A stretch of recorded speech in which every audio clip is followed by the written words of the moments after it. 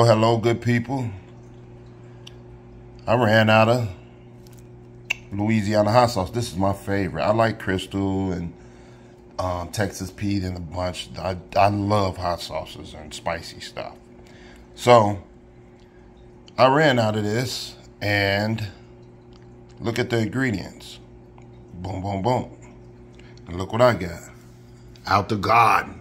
See, I be doing my own hot sauces, but I'm not doing my unique stuff. No habanero, habanero, habanero mango, or no, you know, tomato sauce or stuff, or none, no salsa verde and all that. I ain't doing that yet. Right? I'm gonna do that before the winter's out, before the summer's out. It's almost gone anyway. So now I got some distilled white vinegar. I got my strainer, the strain everything, my blender to blend everything. I'm not gonna have no exact uh, measurements. I'm just gonna go with taste and sight. Now let's get this thing going.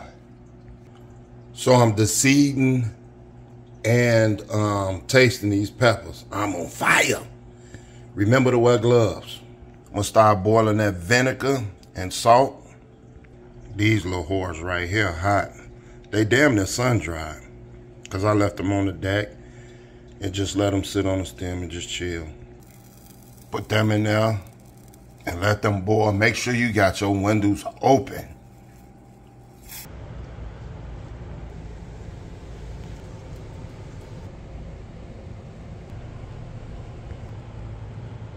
Those was the peppers that I combined.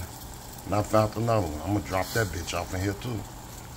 Them peppers getting my ass. I'm starting to sneeze.